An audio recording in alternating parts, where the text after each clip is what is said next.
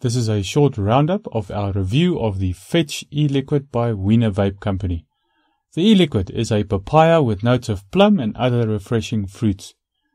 They've mixed the e-liquid at a 70-30 ratio and you can only get them in 30 milliliter bottles.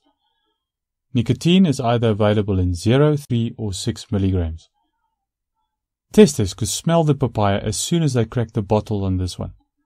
They did find the e-juice quite surprising as there was so much flavor from the papaya and plum packed into this bottle. They said the e-juice had a very good cloud and therefore scored it 7 out of 10. Six of the seven testers got loads of papaya flavor with slight hints of plum. They felt the underlying plum flavor complemented the papaya well and was well balanced. On the inhale, five of our testers could taste the slight plum flavor, and on the exhale, all testers got loads of papaya and plum. The vape ended with a slight papaya aftertaste, which they found quite pleasant.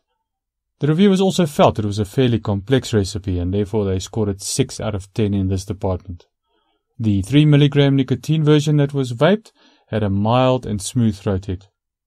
In general, all the reviewers said that the flavors took some time to get used to, Two testers could not really get any of the plum taste, and Ford even said that the overall flavorings became too much for them after a while, and they felt saturated.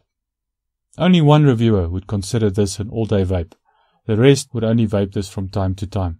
Finally, our reviewers gave it an overall subjective score of 6.8 out of 10. Most of our testers would buy this again just because it was such a different e-juice. For something different, be sure to try their Good Boy e-juice or blends of distinctions zesty berry. Happy vaping!